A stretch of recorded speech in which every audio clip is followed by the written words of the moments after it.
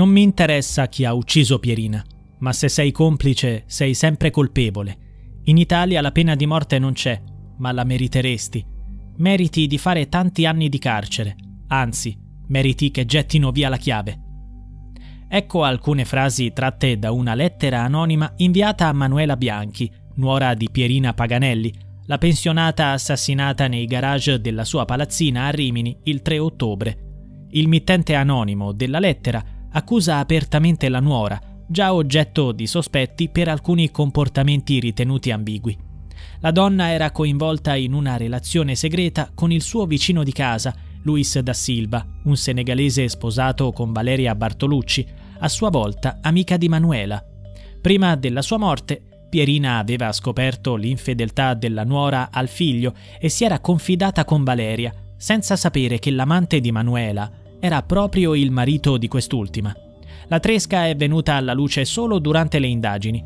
Tutti i personaggi coinvolti abitano sullo stesso pianerottolo, al terzo piano della palazzina dove è avvenuto l'omicidio. Continuando con il contenuto della lettera, si legge: Se c'è crisi nella coppia, perché tu e tuo marito non vi separate? Perché uccidere Pierina Paganelli? Non c'è perdono. Nella lettera, tuttavia, mancano prove del coinvolgimento di Manuela, che al momento non risulta essere oggetto di indagini. La procura ha aperto un fascicolo contro ignoti per risalire all'autore. Manuela è la moglie di Giuliano Saponi, il figlio di Pierina. Al momento dell'omicidio di sua madre, Giuliano si trovava in ospedale in convalescenza dopo un grave incidente occorso a maggio che lo aveva tenuto in coma per due mesi. Non sembra che l'incidente di Giuliano sia collegato all'omicidio di sua madre. Nei giorni scorsi l'uomo è tornato sul luogo del delitto e ha espresso il suo dolore. Chi ha così tanto odio da infliggere 29 coltellate? È stato un eccesso di odio, di cattiveria. Secondo me a fare questo è stata una mente bacata Bisogna capire bene chi è stato. A Giuliano non è stato permesso di rientrare nell'appartamento della madre, attualmente sotto sequestro.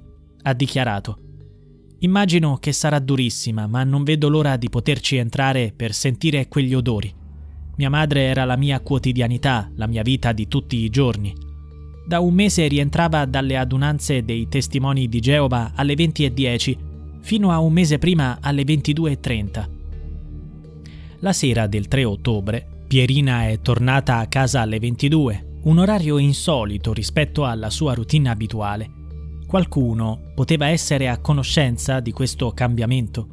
La connessione tra assassino e vittima, rivelata dall'audio di una telecamera in cui si sente il saluto del presunto killer a Pierina, ha immediatamente concentrato le indagini all'interno della famiglia.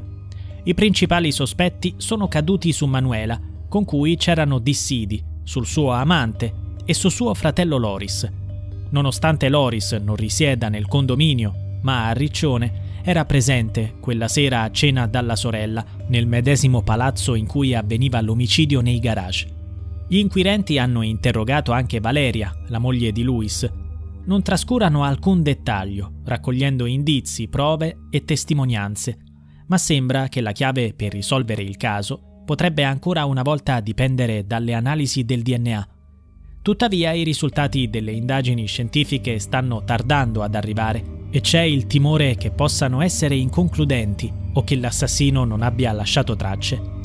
Queste incertezze potrebbero prolungare i tempi dell'inchiesta, che al momento non ha individuato alcun sospetto. Con il tempo che scorre, coloro che amavano Pierina chiedono giustizia per questa anima innocente uccisa senza apparente motivo.